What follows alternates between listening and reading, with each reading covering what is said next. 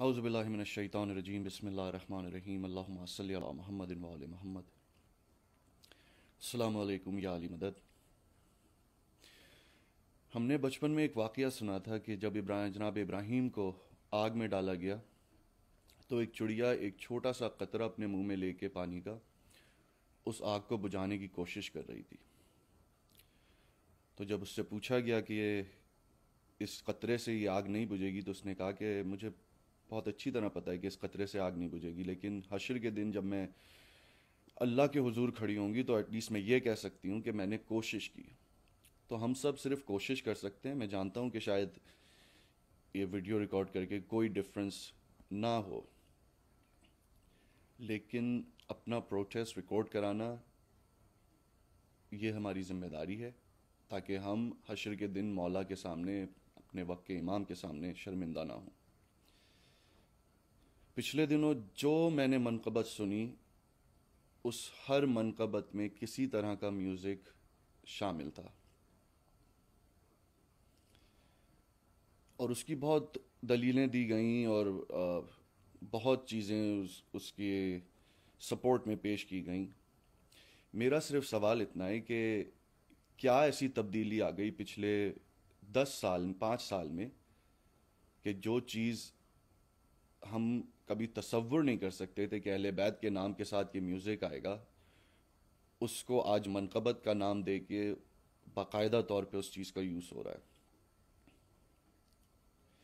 और अगर ये म्यूज़िक इंस्ट्रूमेंट्स यूज़ करना हलाल है तो फिर क्यों ना हम नाउज़बिल्ला नाउज़बिल्ला अपने इमाम बारगाहों में अब ला के पियानो और सितार और तबले और जो जो भी यूज़ हो रहा है वो ला के रखें और फिर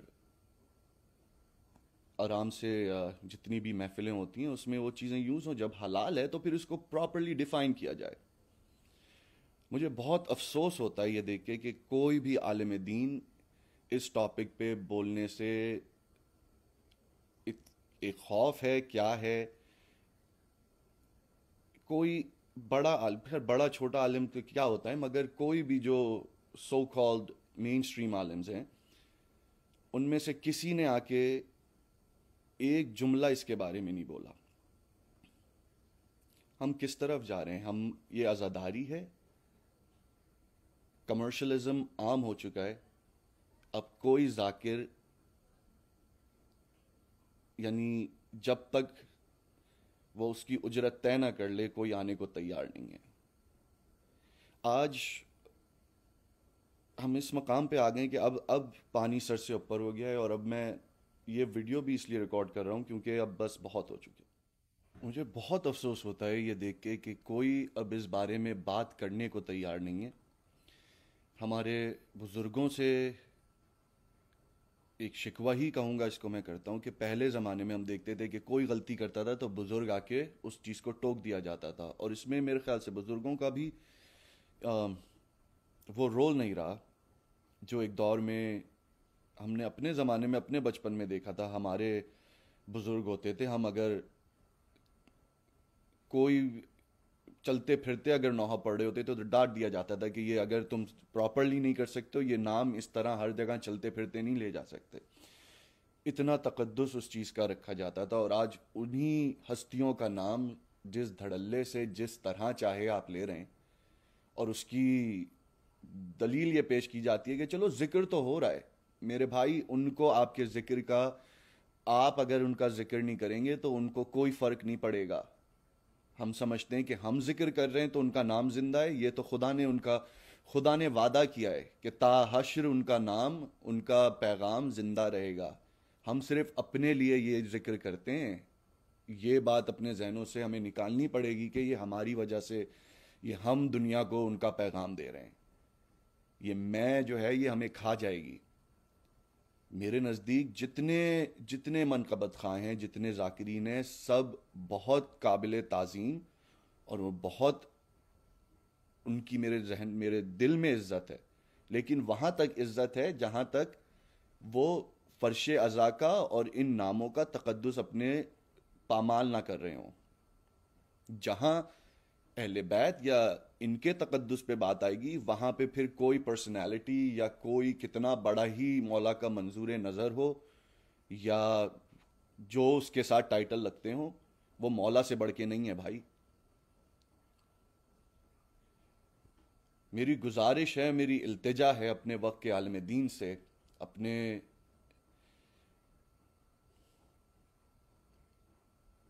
जो जो मौला का ज़िक्र कर रहे हैं। खुदारा खुदारा, इस चीज़ को डिस्कस करें। हमें मेंबरों से ये बात डिस्कस करनी पड़ेगी।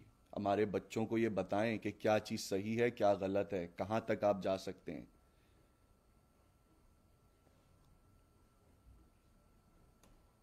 अनफॉर्चुनेटली हुआ यह है कि जो मैं समझता हूँ कि जो खुद इस कमर्शलिज्म में इन्वॉल्व है, जिसको पता है कि कल अगर मैंने किसी के खिलाफ एक बात कह दी तो शायद मुझे वो प्रोग्राम्स ना मिल पाए। तो भाई, जब आपका मकसद लाइक्स क्लिक्स और एंड ऑफ़ द डे जब आप उस चीज़ को जब आपने ज़रिया माश बना लिया है तो फिर आप वही करेंगे जो पब्लिक की डिमांड है। फिर आप अपना ओपिनियन नहीं देंगे। तो मौला जो जो मौला चाहते हैं या पब्लिक चाहती है, आप इन दोनों में से क्या डिसाइड करेंगे? तो खुदारा अब भी वक्त है, जागिए, अपने बच्चों को खुदारा इस इस इस चीज़ से दूर करें। मैं बस यही कहूँगा आखिर में कि मेरी गुजारिश है कि जो जो ये वीडियो देख रहा है, प्लीज़ अपना प्रोटेस्ट रिकॉर्ड कराए। ये बात बताए, ये सब हमारे अपने ही हैं। दर्द शायद इसलिए ही ज़्यादा होता है कि ये हमारे हैं। लेकिन अगर मैं कोई गलती कर रहा हूँ तो जो मेरा चाहने वाला होगा ना, वो कभी मुझे उसको ऊपर सहराएगा नहीं कि नहीं, ये बहुत अच्छा काम हो रहा है, इसी तरह करो। वो मेरे, मेरी गलतियाँ बताएगा। मेरे घर में मेरे बुज़ुर्ग, मैं कभी कोई गलत काम करूँगा तो आके मुझे टोकेंगे कि ये रास्ता सही है, ये रास्ता गलत है। खुदारा, इन लोगों को समझाएँ हमारे बुज़ुर्ग। ये कमर्शलिज्म ये जिस तरह से अब, यानी बाकायदा तौर पे पैकेजेस बनते हैं कि ये इतना होगा और इतना लेते हैं और इतना होते हैं, इस चीज़ को खुदारा ख़त्म करें। मैं जानता हूँ इनको भी अपने घर चलाने तो मेरे भाई, आप इसके ज़िक्र से से बेहतर है कि आप उनको कोई बिज़नेस सेट कर दें, या उनके जॉब्स दें। क्यों? पुराने ज़माने में क्या लोग जॉब्स नहीं करते थे? हमने अपने घर में पूरी ज़िंदगी देखा है कि पूरी पूरी रात शब्बेदारियाँ करके आने के बाद सुबह छः बजे उठ के जॉब पे भी जाया जाता था। पूरे दिन जॉब करके आए, खाना खाया, उसके बाद फिर पूरी पूरी रात मजलिसों में, इमाम बारगाहों में, शब्बेदारियाँ, महफिलें, मिलाद, उस वक्त भी हो रहे थे। तो भाई, अब ऐसा क्या हो गया है कि ये लोग अब कुछ नहीं कर सकते? ये इनको डिफेंड करना खुदारा बंद करें। हर चीज़ की, हर चीज़ की एक रीजनिंग पेश आपके सामने हो जाती है और ऐसा लगता है कि जैसे आप गलत बोल रहे हैं और बस इनके बारे में कुछ नहीं बोलो, ये मौला के मंजूर नज़र हैं। किसने आपको, किसने अथॉरिटी दे दी कि मुझे या किसी को या कि मैं कहूँ कि ये मौला का मंजूर नज़र है? हो सकता है जो एक बच्चा जिसका तलफ़ जिसका उसको पता भी नहीं है सही से, हो सकता है वो मौला का मंजूर नज़र हो और हमारी इबादतें जो हैं वो कबूल ना हो। हर चीज़ को, हर चीज़ को सिर्फ़ अब लाइक्स और उसके कितने लोग उसको, उसके प्रोग्राम्स में आते हैं, इस चीज़ में तोला जाता है। या ना कि, यानी करबला आपको सिखा रही है कि भाई मजॉरिटी होने से कोई हक और बातिल का फैसला नहीं होता। नाउज बिल्ला देखा जाए तो करबला में तो यजीद जीत गया फिर। इमाम के साथ तो सिर्फ़ बहत्तर थे। तो मेरे भाई, ये लाइक्स और मौला के मंजूर नज़र, ये आप इस चीज़ पे आप इसका फैसला नहीं कर सकते कि कितने उनके लाइक्स आ रहे हैं और कितने उनके प्रोग्राम्स में लोग आ रहे हैं और कितना उनको सराहाया जा रहा है। मुझे पता है कि इस इस बात करने पे मेरी बहुत मुखालफत होगी और मुझे इसका कोई खौफ नहीं है, क्योंकि मुझे लोगों को जवाब नहीं देना है, मुझे अपने मौला को जवाब देना है। मैं कभी इन चीज़ों में नहीं बोला कभी नहीं हमेशा यही सोचा और अब भी मैं यही सोचता हूँ कि छोटा मुँह बड़ी बात। लेकिन अब किसी को बोलना ज़रूरी है। अब वक्त आ गया है ठीक है आप मुझसे शायद अग्री ना करें लेकिन अगर ये चीज़ें सही हैं तो फिर उसकी दलीलें दें इन, इन बातों का जवाब दें। मेरी गुजारिश है हर एक से जो ये वीडियो देख रहा है आप अपना प्रोटेस्ट रिकॉर्ड कराएँ। हो सकता है कि हमारे कहने से शायद एक इंसान भी अगर तब्दील होता है तो इट्स वर्थ इट मैंने और मेरी फैमिली ने, हमने तो इस, अब इस जगह आके ये फैसला कर लिया है कि अब जहाँ जो प्लेटफॉर्म हमें मिलेगा, हम बाकायदा तौर पे इस चीज़ के बारे में बात करेंगे।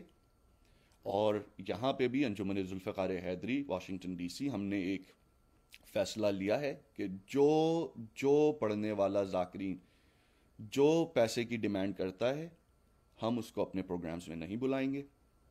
इज़्ज़त सबकी बिल्कुल बेशक, ना मैं किसी का नाम लूँगा, वो भी मौला का ज़िक्र कर रहे हैं, उनकी नीयतों पे भी मुझे कोई शक नहीं है। लेकिन मेरे भाई, गलत गलत है। और ये कमर्शलिज्म अब बहुत हो चुका।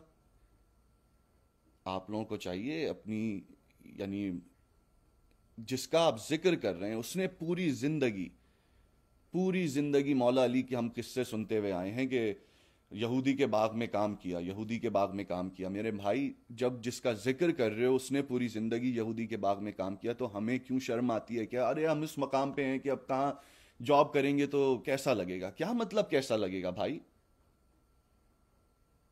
तुम जिसका ज़िक्र कर रहे हो, उसने पूरी ज़िंदगी यहूदी के बाग में काम किया।